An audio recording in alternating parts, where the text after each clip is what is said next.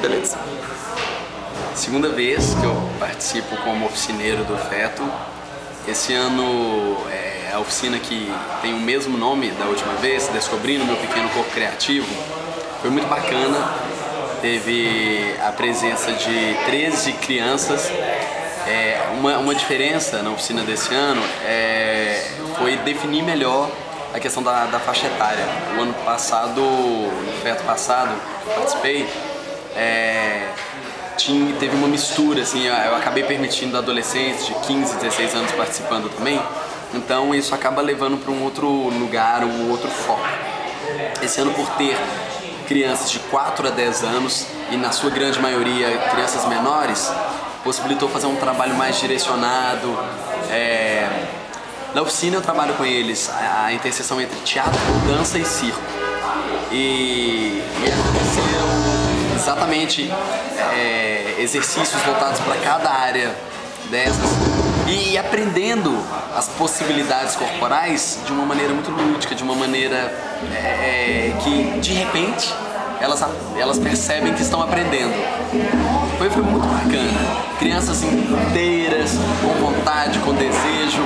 E também uma coisa muito bacana que a gente fez foi um baú de histórias no final, que a gente é, é, eu pedi para que cada aluno levasse adereço, figurino ou fantasia que gostasse e no final é, a gente compôs uma história junto que envolvia o corpo e muito da imaginação. Uhum. Então foi, foi muito gostoso, foi, foi uma delícia. É, Você se diverte bastante? Nossa, tem horas que eu tenho que lembrar que eu estou dando a oficina, porque senão eu entro no, no na brincadeira e fico um deles também. É, mas foi muito bacana, foi um, um, um trabalho muito prazeroso.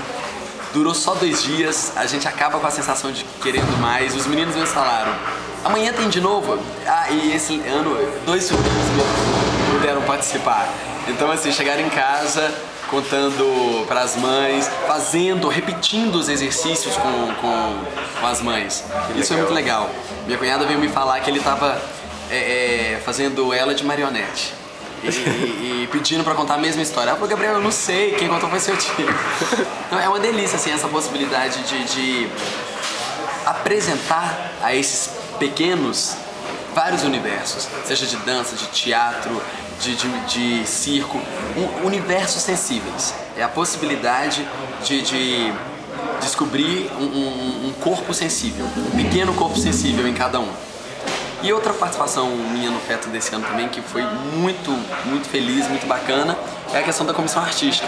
Poder acompanhar vários espetáculos, é, é, poder conversar sobre o espetáculo com os diretores e, e o elenco depois, é muito bacana. É, é, é, é fazer teatral é, no seu maior sentido, não só assistir o espetáculo e ir embora, não é, é, é trocar diretamente com, com, com quem fez e com quem assiste.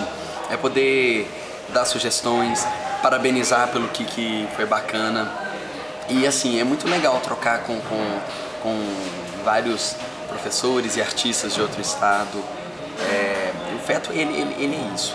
Ele é um festival estudantil que fomenta o teatro na sua essência.